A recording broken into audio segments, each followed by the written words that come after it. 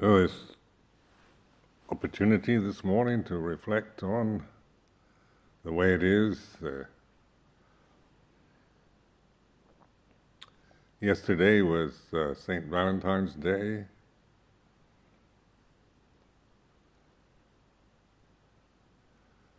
And what is that right now?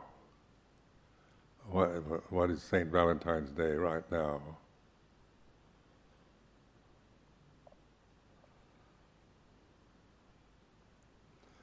This way of noticing the way it is.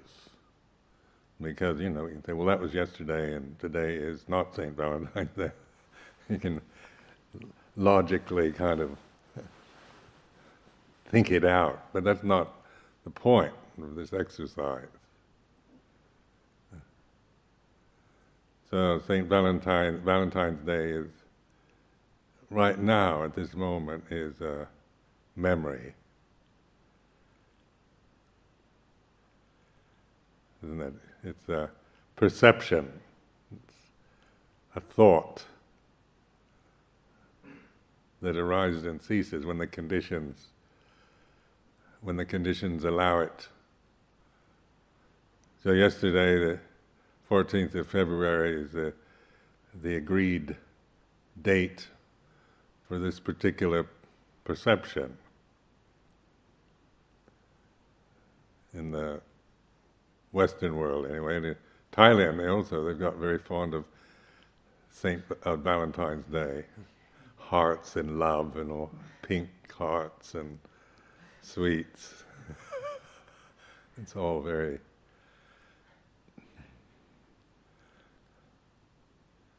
sweet and nice. And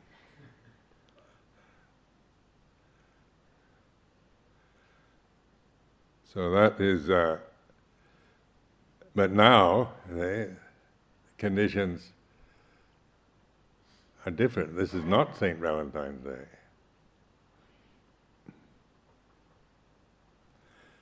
Now, this is just observing how this affects the mind, because none of us probably care about, care that much about St. Valentine's Day, but but the uh, it's using is the common, ordinary thought, perception, and noticing that that uh, you know the the conditions now are not saying this is St. Valentine's Day, yesterday was. So knowing this and just seeing how how that just you know investigating just the ordinariness of our thinking process, because we do we tend to not to notice things very much. We just kind of react to conditions as they happen to us. So they, yesterday, they, this is Saint Valentine. This is Valentine. Who was Saint Valentine? And suddenly we take an interest. Uh, I found out he was a Roman soldier that was martyred because he refused to give up uh, his Christian belief. And before he died, he sent a, a little Valentine to his girlfriend, or something, or a letter.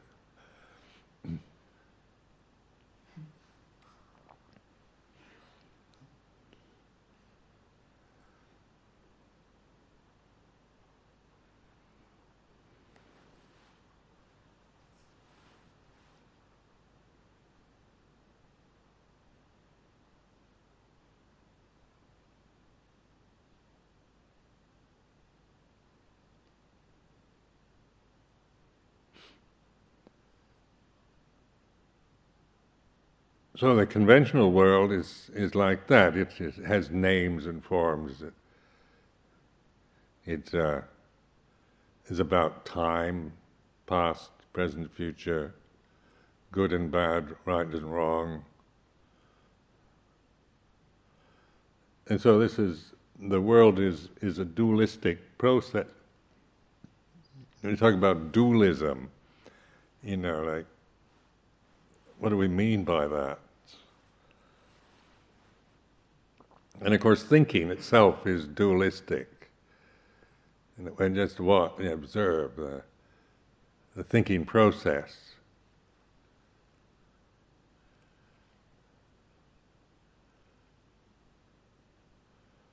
So just a thought itself has its has its opposite. It, it it always brings up its opposite. So it's good and then bad, bad or good, right or wrong.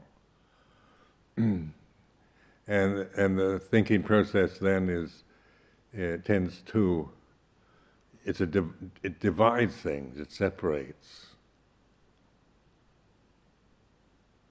Me you and heaven hell. Now noticing this this uh, just the watching one's own thinking listening to to oneself thinking, for example. you see how that that the self is a very separative experience because the the self, in this sense, the atta is is a thought of me as a separate person, me a personality, me an identity with the body or with the convention or whatever. And that separates, its nature's to define. So define this form as a separate form, separate person, a gender, a religion, an ethnic identity, race. All of this is these are this is due to the thinking process, isn't it?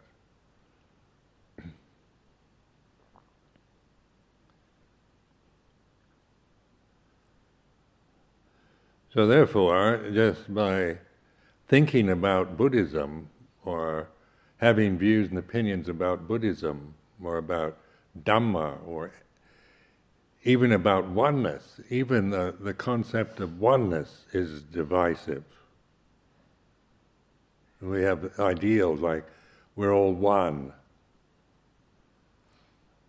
But that in itself is a, is a kind of division because it's a thought it's an ideal, oneness as an ideal, then we we try to think about it. What does that mean? And the more you try to think about oneness, the more confused you get.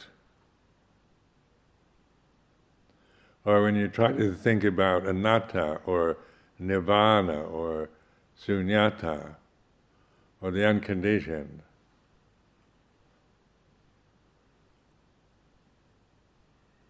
it ends up being dualistic, doesn't it? So there's atta and anatta, self and non-self, and there's there's dhamma and non-dhamma, and and uh, whatever.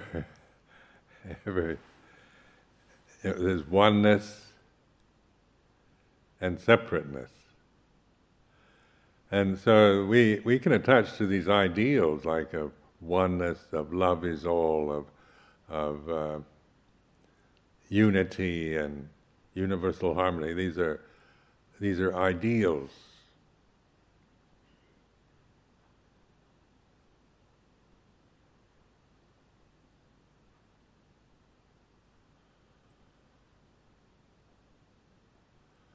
So then the, the direct approach of meditation, mindfulness, is observing this, the thinking process. What is it that observes thinking? It's, not a thought, is it? Mindfulness isn't a thought. The word itself can, can be quite confusing, the English word mindfulness. Mindful of what? Well, what is the mind? And mindlessness? Or awareness. What do you mean? Awareness, mindfulness, the same thing, or are they separate? Should when you talk about awareness and then you talk about mindfulness, are they the same thing? Or do you mean something different? Is awareness slightly different from mindfulness? What is the subtle difference between awareness and mindfulness? And we try, want to get a precise uh, use of, of our words, you know. Figure it out like that. And, and one, uh, what is the exact perfect English translation of dukkha, the Pali word dukkha? And there's some Pali scholars, they love to argue these points. And they all come up with their own perfect definition. We end up going back to suffering.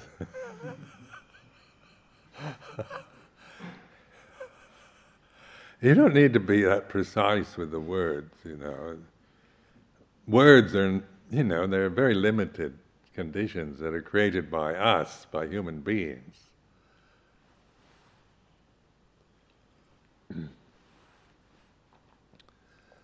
So when, when I talk about awareness and mindfulness, these are the English words for sati. Sampajanya, I use apperception. Gosh, that's not a common word. Uh, usually it's clear comprehension. That's what the usual definition for sampajanya, clear comprehension. Clear comprehension of what? You know, what does that mean? And uh, mindfulness. Trying to figure it all out. And, and so that on that level is it's not liberating, I guarantee it. That's not the path. So the words, the conventions, the structures, they're expedient means, how to use the structures, the conventions, not to make everything more complicated and difficult because we're already complicated and difficult. Just being a personality, uh, this, the Sakkayaditthi Silabbata Paramasa Vicikiccha fetters. You know, that's really complicated. All my identities, my likes, my dislikes, my past, my uh, views and opinions, preferences, prejudices, habits.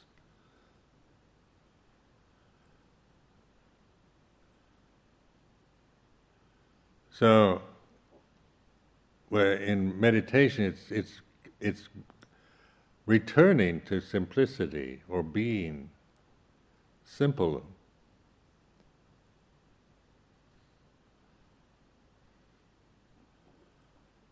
So, what is more simple than, than mindfulness? Because it's here and now, you don't create it. It's not thinking. Our thought is a bit is complicated.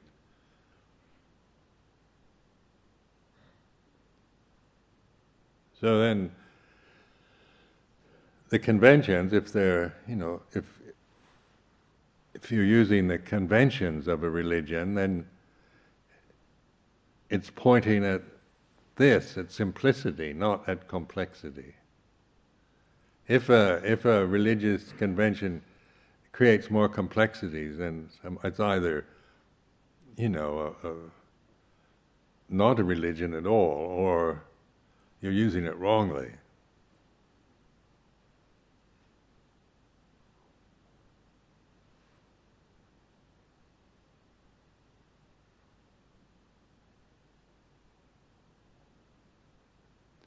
So, say religion, how I use that word, is, uh, is conventional, as a, some kind of form that you use for realizing ultimate truth. It's a it's a pointer. It's a like a pointer at something points at ultimate truth, but it's not in itself ultimately true. So then the you know the uh, the problems with the fetters is that they're they're complicated and they and we we get lost in the sense of our personalities and our and the conventional world.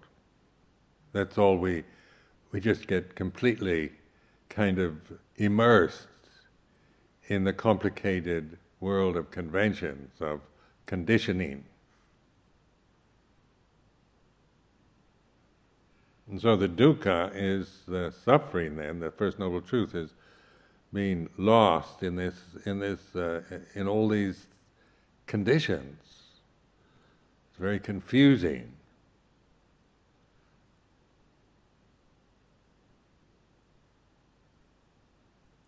And very unsatisfying because the conditions are, you know, they're so impermanent and uh, they the best they can do is offer some kind of temporary happiness.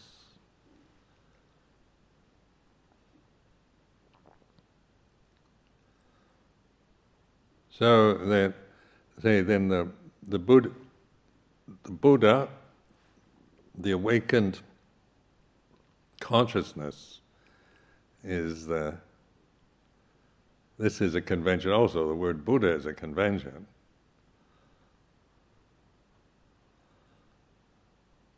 And then one can look at Buddha uh, in terms of some kind of, we create some kind of abstract idea about Buddha, Buddha nature, Buddha force, Buddha energy in the universe, or whatever. But because it, it's we're so conditioned to complicate and and uh, make things more than what they are. So then, say in the Thai forest tradition, the emphasis on Buddho is like the one who knows, the knowing, the Buddha knowing. And it's not a belief, not asking you to believe this. Uh, uh, as, a, it's some kind of Buddhist doctrine. What? It's an expedient means. Buddho is knowing now, knowing this.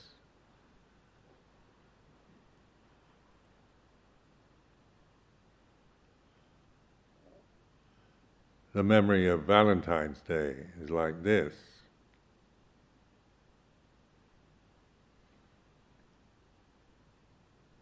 So, you know, try to sustain the memory of Valentine's Day. See how good you, how long, you know, you can sustain it. You have to keep thinking it because it keeps fading out. At least in my, I'm doing it right now.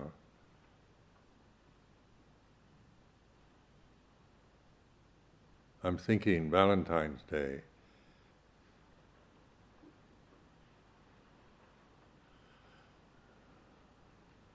Of course, it isn't highly emotionally charged for me, so you know, it doesn't. There's nothing kind of gripping me on the emotional level.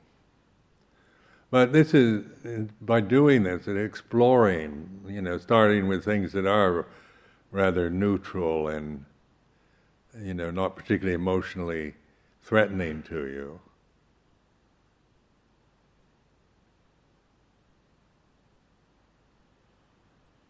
Just seeing how that, that we can assume that, you know, never really seeing the nature of, of sanya sankhara, we, we are, uh, you know, actually meditating all the time with views and opinions and sanya sankharas about Buddhism or about our practice or about ourselves or about our ability or lack of ability.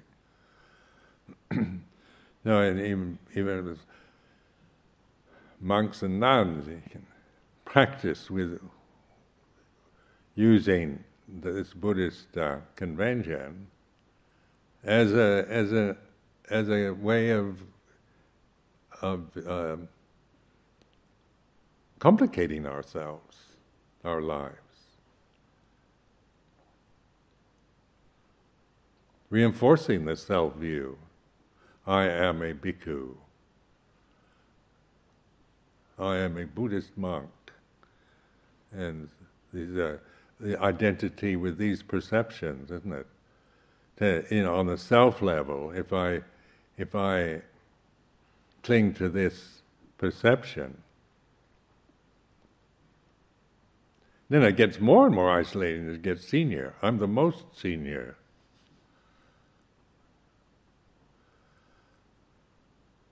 And then on the ego level, you think if uh, because I'm most senior, then I'm you know, I'm the, logic that comes from being most senior and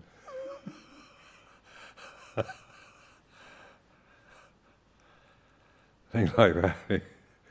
and see, it is the whole the whole structure, logic, and reason is being the most. No, being most. You know, there's then we get into our views of, you know, like there's stories in Zen Buddhism where the the cook in the kitchen is the enlightened master, and the and the most senior monk is the deluded one. We like things like that too. You kind of knock down the the arrogant, pompous authority figure with a nice, humble, you know, somebody, little dishwasher or toilet cleaner.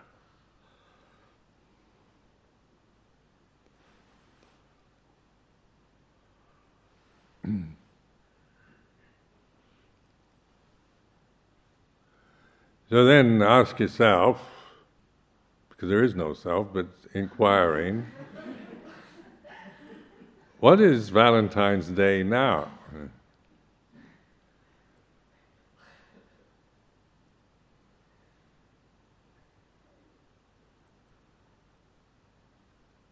And don't try to figure it out. Just observe. You know, it's a something like that, or what is, where is my mother now, right now at this moment? And oh, my mother, if she's alive, you know, she's in New Zealand or she's in Sweden. That's the conventional assumption, isn't it? But even the word mother is uh, con- is a condition that arises and ceases in the present, and you really look at it, isn't it?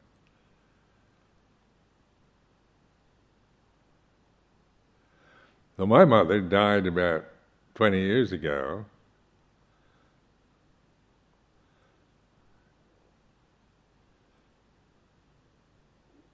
But still, I can still think of mother, and when I think of when when that perception of mother comes into consciousness, I still visualize her as I as I last saw her. So I mean, it's just you know noticing this that it's uh, when she was alive 20 years ago. So is this just noticing that that this also bring like the word mother as strong, you know, is is not like Saint Valentine's Day, is it? It's just it brings up stronger feelings because of a lot of karma, a lot of association, pleasant, painful that with mother.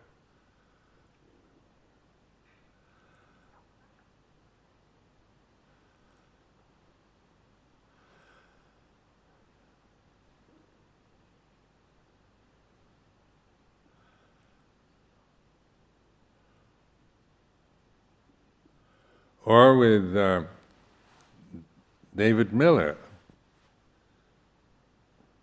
When we think of, we think of the perception, David Miller. Now, what is that?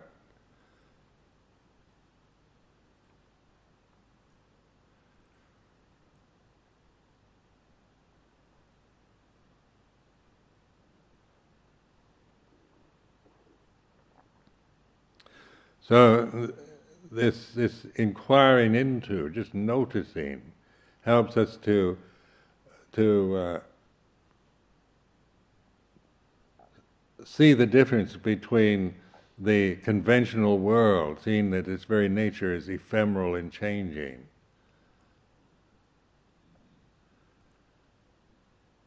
That, that when we attach to thinking, thoughts, ideas, and this tends to make things more than what they are. We're no longer using conventions as pointers, as tools for awakening. We're merely projecting ideas onto into this moment, making things more than what they are.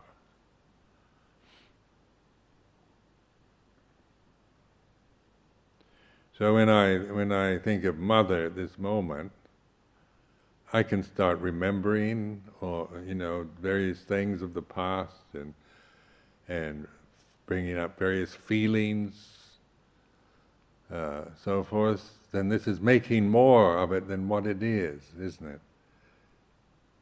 I can I can sit here and I can really, you know, bring up all kinds of pleasant, painful memories from the past. But this moment now, if I don't do that, then then the perception itself is uh, is certainly seen, but it's not clung to, not followed, not we're not holding on to it, so it doesn't become complicated, but it is what it is.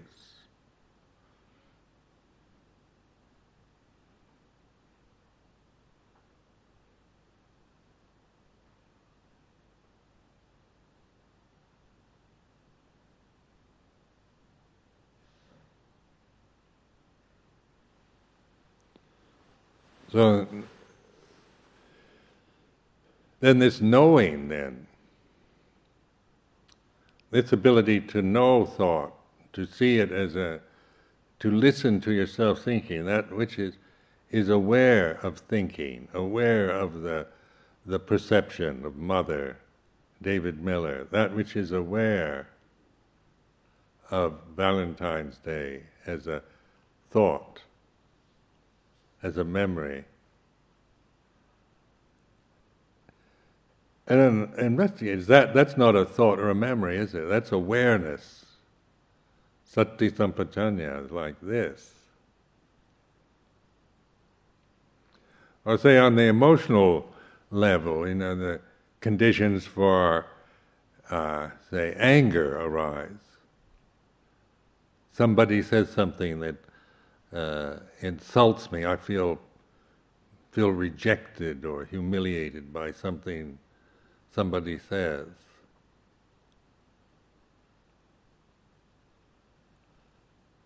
So then, you know, the the emotion emotions are, you know, like Valentine's Day doesn't bring up any emotion. Indifference, might say. And then, but say, somebody says something that insults me personally, and and I know they're being malicious and vicious and not right, and I get carried away with the anger, or to see anger, to know that the anger, this this feeling of anger, this energetic experience is like this the awareness of anger is not angry. So, like the Buddho is the knowing the way it is. It's the direct knowing, it's not knowing about. It's knowing it's like this. Anger, and, and even the word anger gets in the way. You don't even have to call it anger, but it is what it is. It's like this.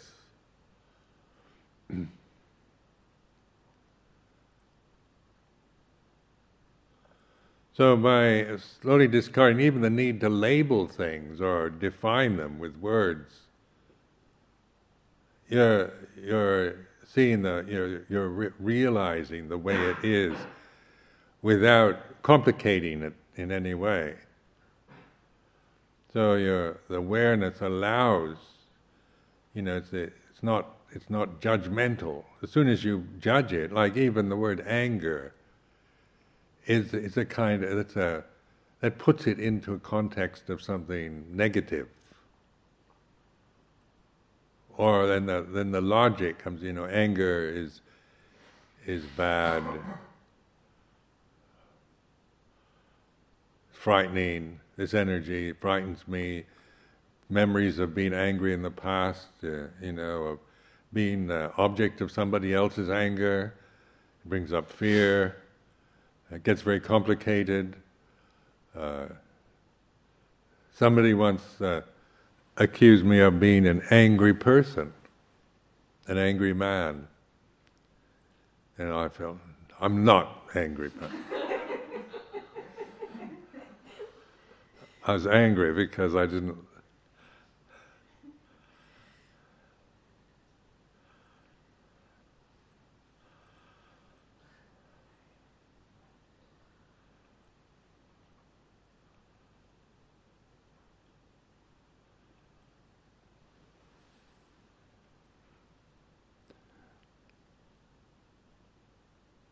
So you can see, like, like the way we tend to psychoanalyze ourselves, it oftentimes is counterproductive because we we say, oh, "My problem is with anger or with fear," or then this very way of thinking, if if one doesn't understand how to use convention, tends to create this illusion of a self. You know, define ourselves even more as some kind of that anger is me, it's my problem.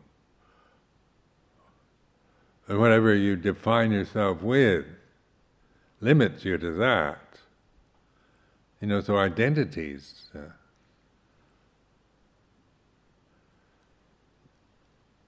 you know, they're delusions, the d- identities we have. So just like saying, I, you know, I have this problem with anger, and and so uh, I've got to work out my anger. I've got to process my anger. I'm processing my anger. I hear that a lot, or processing my fear. Or, and this is the the kind of jargon of the present age. Uh, because of processing, I'm somebody who's got to process to deal to resolve these problems See how complicated it gets.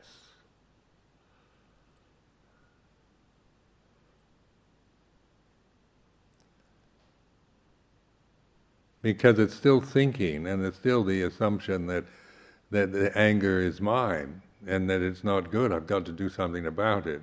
So there's all kind of you know sense of of me. I'm this anger. I you know I I've got to work on this in order to free myself from it that whole whole kind of assumption. You see, meditation is much more direct. It's aware of that, the self, how we create the self, and make assumptions.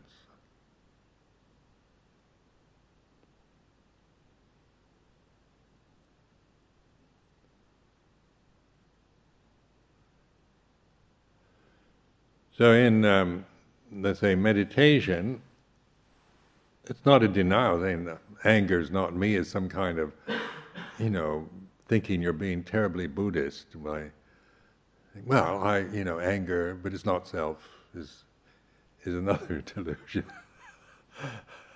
because it's still, whether you're thinking, you know, anger is mine and it's my problem, or anger is not self, I don't create myself and I don't believe in a self that gets angry, and then you go on giving the, the party line of it's all impermanent and non self.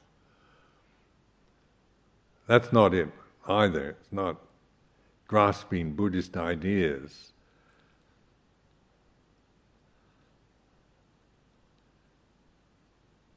But in observing the way it is, so like feeling anger, the you know, positive, negative, neutral, uh, Vedana, Sukha Vedana, Dukkha Vedana, Dukkha Matsukha Vedana. The body, these, these five khandhas, in other words, this was an expedient means the Buddha gave as a teaching to see, to notice, to observe to simplify.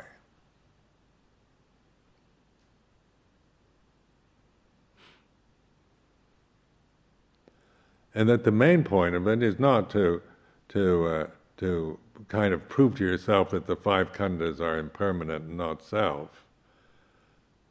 You know, it's, it's not a because that that's still grasping the convention. but it is through awareness through mindfulness that we begin to to re- realize the nature of things. It's a the reality of impermanence, not the idea of impermanence. The reality of non-self, rather than the idea that there isn't any self.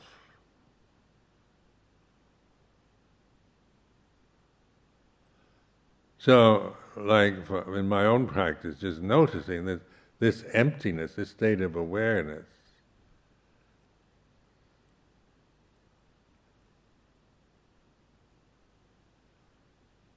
There's no sense of a self in it. I'm just aware of it. This stillness, this resonating silence.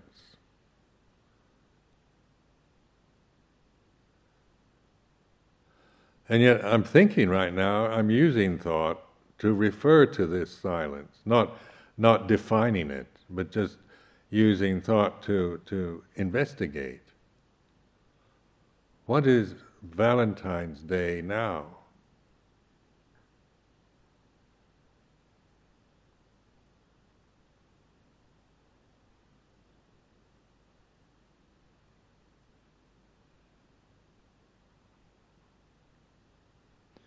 And so this awareness is this way, is re- realizing it, recognizing awareness. Sati sampajanya is this. Sakkayaditthi, the self view, is, is thoughts of I am Ajahn Sumedho, my practice, my feelings, my life, my mother, what I think of St. Valentine's Day, my view about Valentine's Day.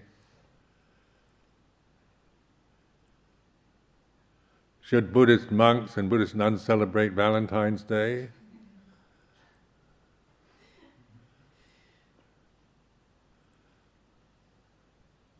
It's not Buddhist. and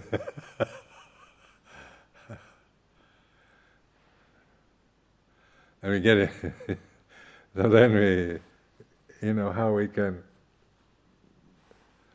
we begin to see, you know, observe this, the, the conceit, uh, the attachment we have even to the conventions, the good conventions we're using.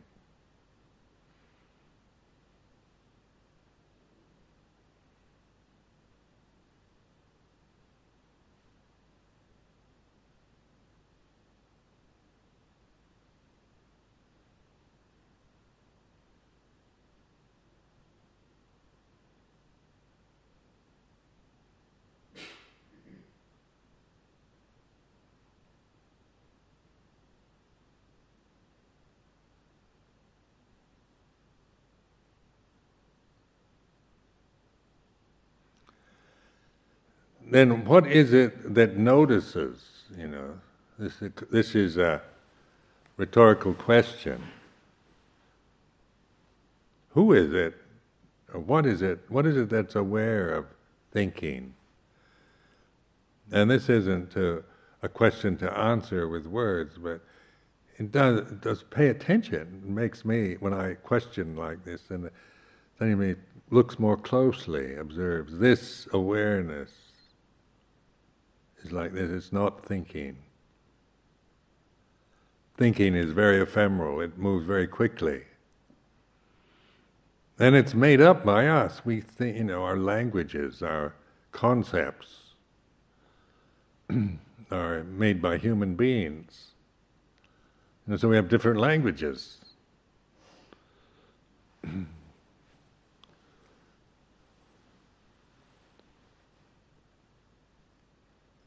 But consciousness is uh, seems to be like awareness, consciousness are aligned.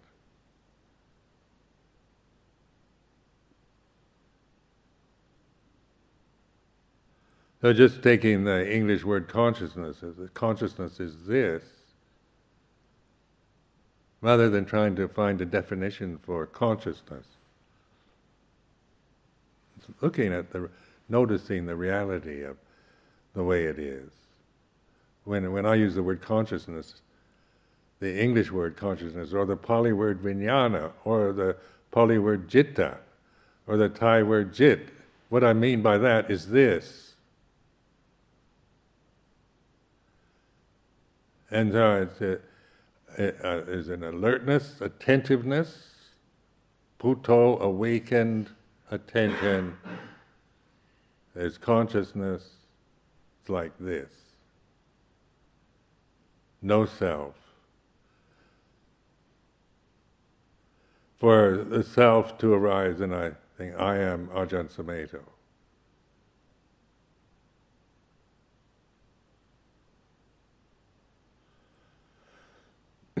so exploring this, to, you know, to really put this into practice is a is uh, you know a lifetime of, of reminding ourselves because we're so easily pulled back into the illusory worlds that we live in most of the time. The me and my world, my feelings, my life, my practice, my problems, what I think how what I think how this monastery should be like, what I want Chithurst to be, whether I agree with all the decisions made here or not, uh, with Ajahn Sucitto or Ajahn Sumedho or then it goes into, you know, then we back into that world of, of views and opinions, preferences, We've got to protect the Thai forest tradition at all costs, purify, uh, you know, the, protect the Ajahn Chah tradition,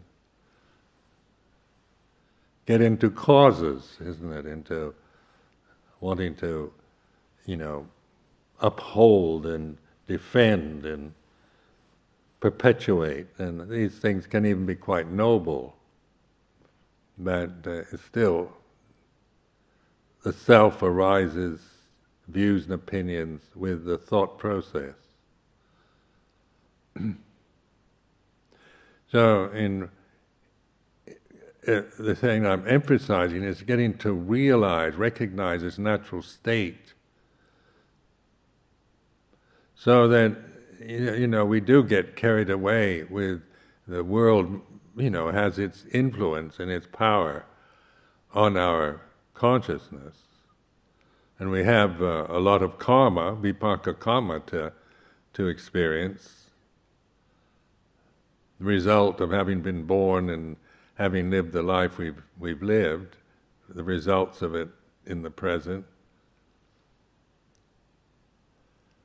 Fair enough, and the, the world then is like this, the, knowing the knower of the world, the lokavidu, the is part of Buddho, you know, the, knowing the world is the world,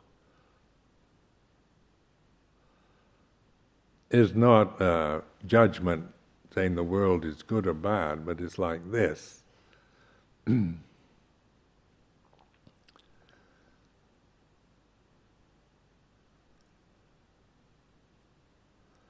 then our escape, our release from the world is this awareness, this this Buddho, knowing the way it is. That's the liberation. So, in that, one of my favorite quotes from the Pali Canon is that there is the unborn, uncreated, unconditioned. Therefore, there is an escape from the born, the created, the conditioned. If there was not the unborn, uncreated, unconditioned, there'd be no escape from the born, created, conditioned. But because there is the unborn, uncreated, unconditioned, there is the escape from the born, the created, the conditioned. and so, a statement, uh, I've always, these things have always inspired me. There is the unborn, uncreated, unconditioned. Or the one I chant when, when I, before I give a desana, formal talk, aparuta de sangamatassatawara yesodavanta munchantu satang. The gates to the deathless are open. The deathless, the gate to the deathless is open. Now this is these kind of some people don't find these you know they find these things bewildering because they're not intellectual. You know, they're unborn, uncreated. What is that anyway? That sounds just so abstract, doesn't it? what is it? Is it heaven or, you know, where is it? You know, where is the unborn, uncreated? Point to it right now. Can you can you do that? Can I hold it up and say, this is it? You can examine it with, under a microscope if you want.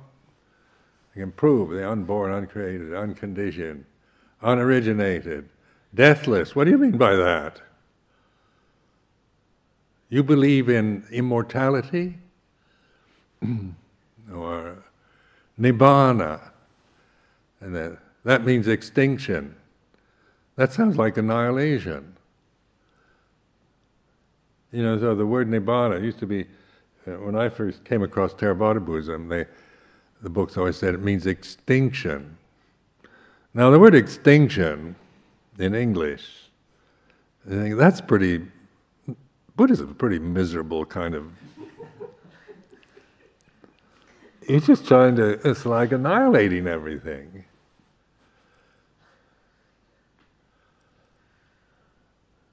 You know, that's what I, what I, when I, when I get suicidal thoughts, I want to become extinct.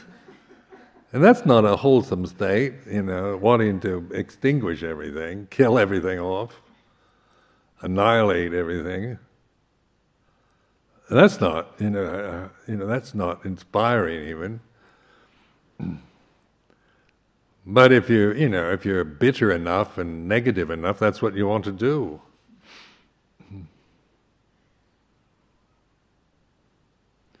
So then I notice some people uh, get very uh, ill at ease when I talk about nibbana and uh, unconditioned, unborn, uncreated, unoriginated.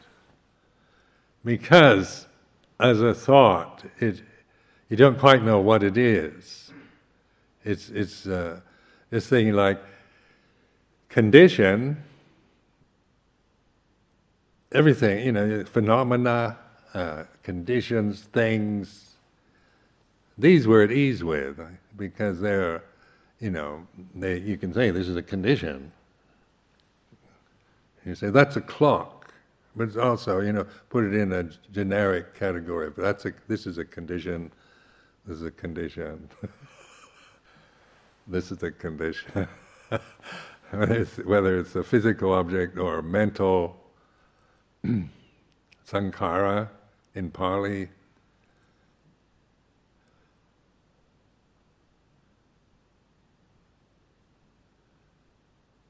But unconditioned sounds abstract as an idea, doesn't it? What is it? And then it, you get into try to metaphysical of theories maybe about the ultimate nature of things and, and theorize, think about uh, you know, form metaphysical theories about it?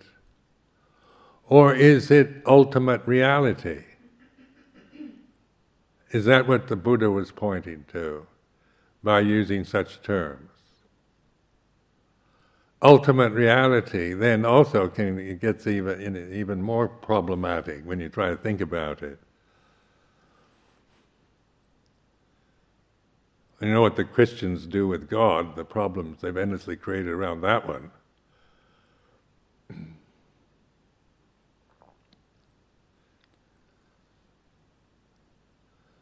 So then, to me, the the very essence of of the of this convention is summed up in this: uh, there is the unborn, uncreated, unoriginated, unconditioned. Now, to me, that's not annihilation. That isn't like saying there's nothing at all. But, but there is an escape then from the born, the created, the condition. now, when you look at it, the, the, the suffering is to, you know, the, the what we're conscious of most of the time. We're involved with the condition, the created, the born, the originated all the time. The thoughts, the emotions, the bodies, the things we experience through the senses. We're just caught in continuous reactions to them. You know, so it's like there's no escape from this, this realm. You know, just like it goes on and on. Maybe suicide's the only possible, you know, hang yourself or something to get out of it because it it just goes on and on and on, one thing to the next, on the conditioned plane. and you, you know, in monastic life, you know, hope that once, once the uh, hall is finished, here at Chithurst. Once we've got this proper Dhamma hall, because we never had a proper meeting hall before this was built. But once the Dharma hall's finished, which it is now, then everything will be all right here.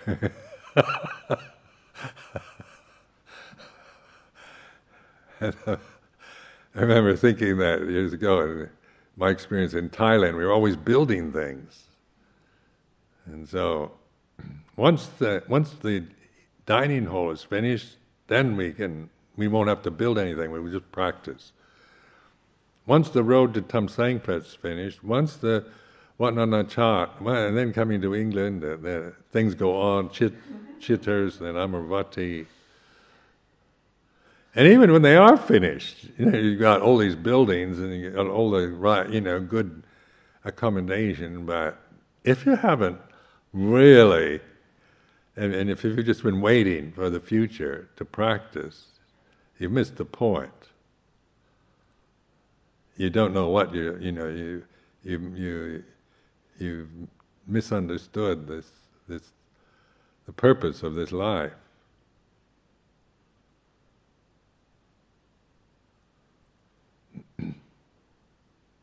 because the conditioned realm goes on and on and on. It perpetuates itself. and monasteries change and they they have their peaks and their depressions and so forth. It's uh, you know things. Uh, Buddhism has its where it, it's fashionable and lovely and praised, and then ignored and then persecuted and so forth. it's just the way the world is. You know, it, it up and down, high and low, changing. Nothing stays static. So the escape from that, from this con- incessant, continuous change, can only be, you know, it's not about when the Dhamma hall's finished, is it? It's about now, seeing, knowing in the right way. The, the stability of this moment, the stability, the only stable, unshakable reality of now is is recognized through awareness. It's this.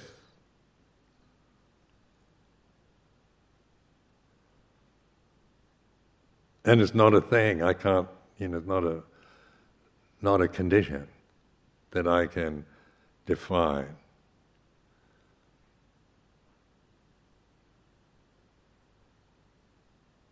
So uh, that's what I, when I use the word unconditioned, that's what I mean. So I'm telling you, when I'm using these words, I mean, this is how I. This is what I'm. This is what I'm pointing to. I'm not trying to say I have the, the way I use the words is is you know accepted in all levels of Buddhism, or that you know I'm quite willing to be corrected too in how I use words. But but the uh, you know this is what I mean. I'm pointing to this reality then the condition comes from that. I have perspective. I am this, I am the unconditioned, in other words. Which is not meant to be taken personally, but this, this, this, this is my true nature. Using the limitation of language to to affirm this natural state that I, I don't create out of ignorance. It's not through ignorance, it's through awareness that this is recognized.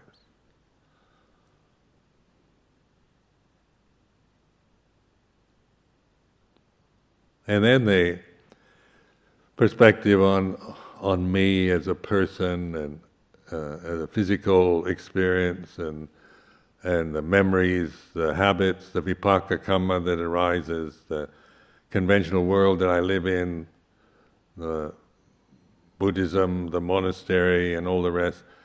It's in a perspective then. It's not. It's not the what dominates consciousness anymore, or which I get lost into endless complications, even on the on being attached to religious conventions. Buddhism can be incredibly complicated if you're just attaching to the conventions of it.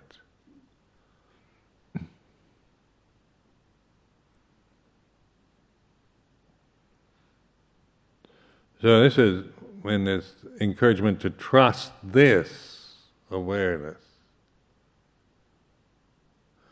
Or sometimes I'll even say, trust yourself more. And I don't mean trust your views and opinions from the Sakkayaditthi level. I don't trust, even after 40 years of meditation, I don't trust anything Sakkayaditthi that comes up in my consciousness. I know it, but that's not something I'm, I'm going to, uh, you know, I want to uh, grasp and, and operate from self views or, or opinions, prejudices, biases, habits.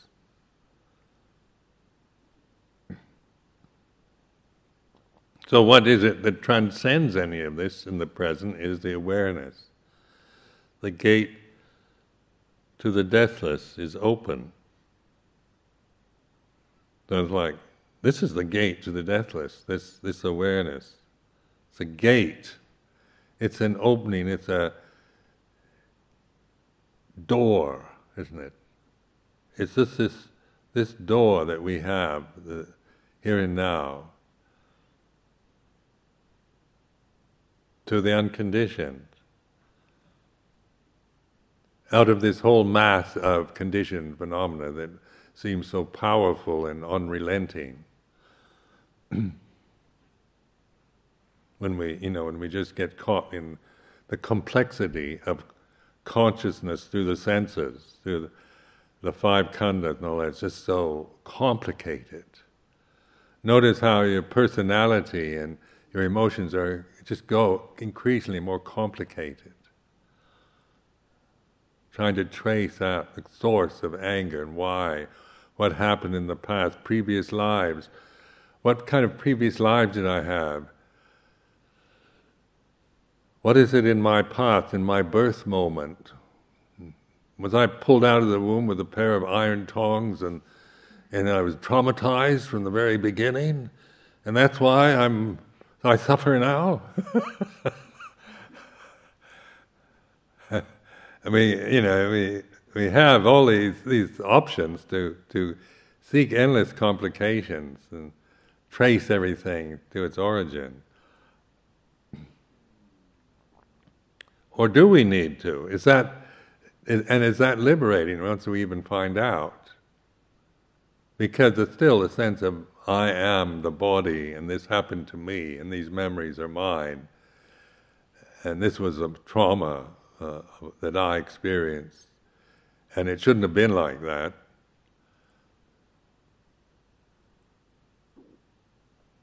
blame the doctors. My mother's fault because she didn't she didn't know anything about natural childbirth. Her whole faith was in modern medicine back in 1934. And of course, they didn't know very much then. it gets more and more complicated. But if you, if you, uh, you know, but if you awaken in the present, this Buddho, awakened attention, then, then even the traumas, the injustices the, uh, of, the, of, that one has experienced in one life is in, in a perspective in which one is no longer, you know, limited by that. Because you've you realize, recognize the true nature, the deathless, the unconditioned, unborn, uncreated, unoriginated. So this is the, the you know the the wonder of our humanity, of the human birth, isn't it? That, that the human being, we have this, we can do this. This is within our ability to recognize, realize ultimate reality within the, and yet seemingly bound by all these conditions of self and the physical body and the sensual world.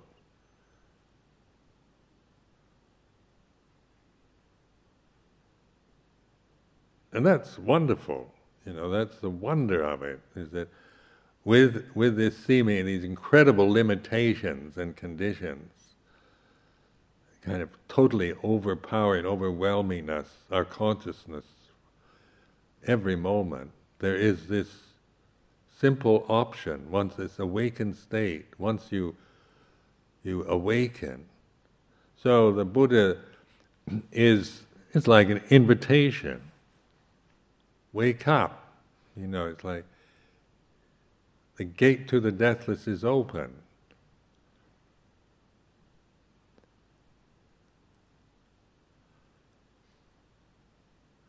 So then, when I use the word deathless, this is what I mean. This is the deathless. I can't define it because it's it's known, it's realized, but not it's not a thing that I can define.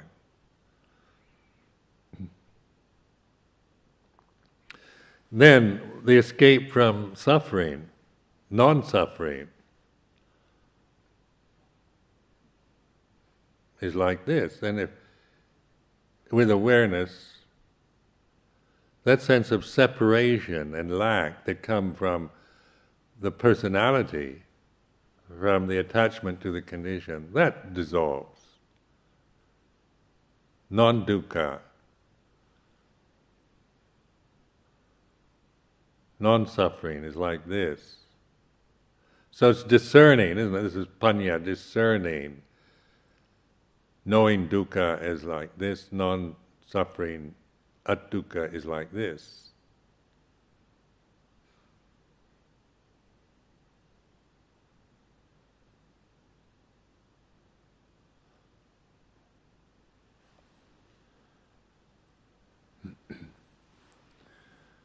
So, just sharing these uh,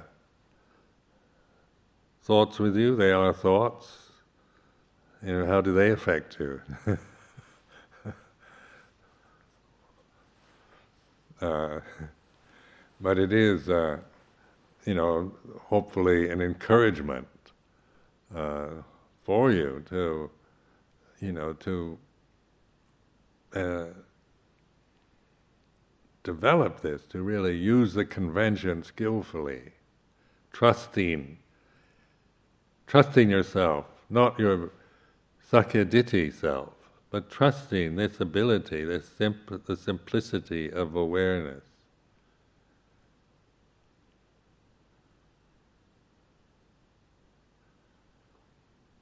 And then the, then realizing, recognizing, like realization is recognizing reality. Reality is this: the deathless is real. It's reality, it's not some metaphysical abstract idea that I'm going to write volumes of complicated thoughts about.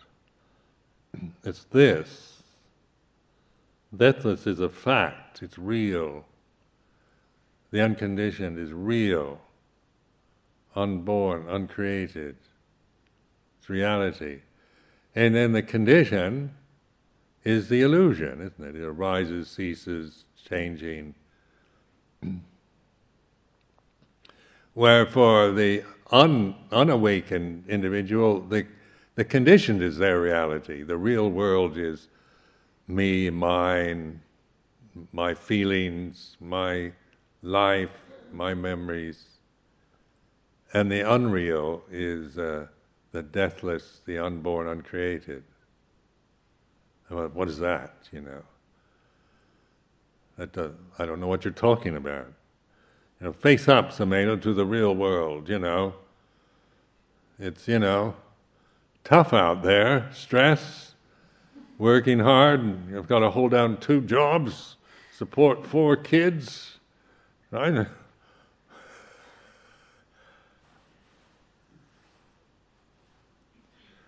that's the real world you're living in uh, at Is, you know, you're just deluding yourself. Because the, the, the real world and to the ignorant is, is this, you know, the, these limitations, this suffering, this, this uh, stress, pain, death and loss and whatnot, where say the escape from the un, escape from the condition, the the created, the born, the originated. oh, so you're an escapist. Sumedho's an escapist. Can't face the real. but wanting to escape hell is that? I think that's wise, isn't it? if you can get escape from it, why not? You know, why stay in it? It's just good sense to me. If there's a way out, get out. If you're caught in the in the sewer and there's a way out of it, you you go on, get out of it. At least I'm, I would.